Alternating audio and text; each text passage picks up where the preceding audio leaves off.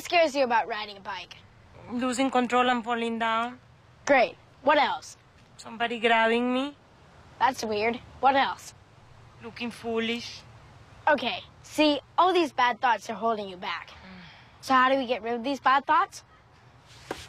We shoot them out. No, don't you dare. Right. Don't you dare! Right. Look, stop it! No! I said right. No, no! Right. Tell your mother! What? That you're riding a No, bike? that you're... Yes! I'm driving the bike! Woo! Allow me, Dad. I'm a great teacher. Who invented the alphabet?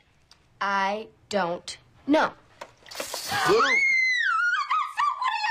Say it, say it! Luke, that's enough. Oh my god! I don't know, I don't know, the Phoenicians, the Phoenicians! That's right. Teacher of the year. She's all yours, buddy.